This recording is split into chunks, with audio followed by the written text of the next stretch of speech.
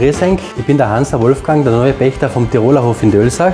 Also machen tun wir einen rosa gebratenen Hirschrücken mit Rotkraut und Schupfnudeln. Es bietet sich natürlich in Dölsach an, äh, einen Hirschrücken zu machen. Das ist nämlich unten vom Weingartner Hannes. Der hat unten ein Gehege. Da habe ich auch gefragt, ob ich da ein Fleisch kriege. Hat er gleich gebracht. Und da bin ich bei Marinelle gewesen, beim Kreisler und habe mir gedacht, ich kaufe da mal ein, was ich heute so brauche zum Kochen. Da würde ich sagen, da starten wir.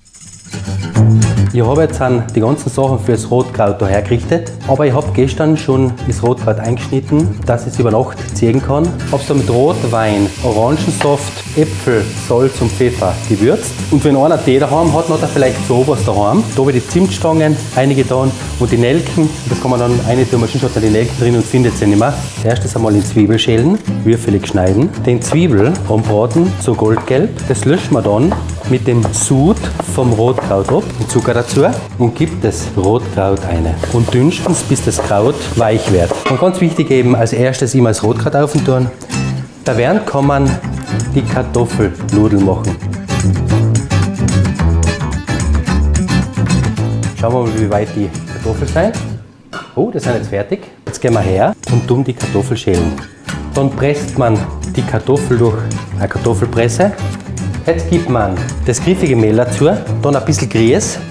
Ich tue immer gerne ein bisschen Kartoffelstärke dazu, drei Butterflocken dazu und dann tun wir es ein bisschen salzen. Noch einen Lotter dazu. Das Ganze vermengt man jetzt zu einem Tag. Jetzt stürzt sie den Kartoffelteig aus und kneten nochmal durch. Jetzt haben wir da eine Rolle gemacht. Schau, ich schneide so kleine Dickeln runter. Jetzt holen wir meine Tochter. Die Theresa sagt euch das, dass es einfach ganz kinderleicht ist, wenn man so Kartoffelnudeln macht.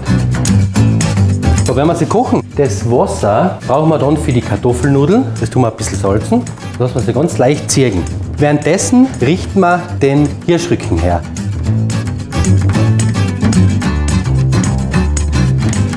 Wir tun das einmal salzen, dann ein bisschen pfeffern, hinten nochmal das gleiche. Das stellen wir jetzt einmal kurz auf die Seite.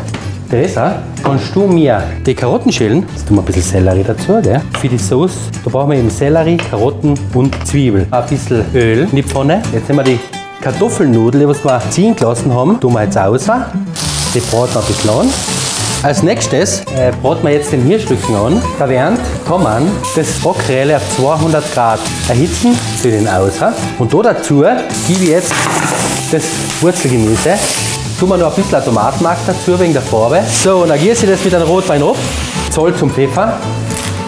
Eine Wacholderbeeren dazu und Lorbeerblatteln. Dann gehe her und gieße es noch mit einem halben Liter Wasser auf. Abseihen, die eingeweichten Steinpilze dazu tun. Gerade ein bisschen eine Preiselbeeren in die Soße dazu. Ein bisschen eindicken mit Maizena. Jetzt tun wir den Hirschrücken, tun wir jetzt nochmal so rein. Ungefähr 12 Minuten. Was ich auch noch gerne tue, ist gerade einen kleinen Schluck Sahne dazu rein. Ein paar Preiselbeeren ins Rotkraut, tue ich auch ein bisschen Maizena dazu, allem ein bisschen nebenbei das Rotkraut beobachten. So, wow, schaut das Hammer aus. Ich hoffe, es macht es einmal und guten Appetit.